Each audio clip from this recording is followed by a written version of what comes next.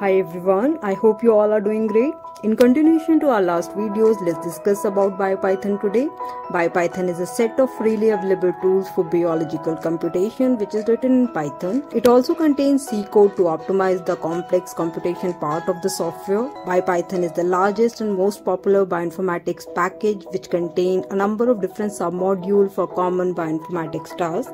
BioPython is a large open source application programming interface which could be utilized for bioinformatics software development and also for everyday script of common bioinformatics tasks such as sequencing, genomics, phylogeny, structure, and popular genetics.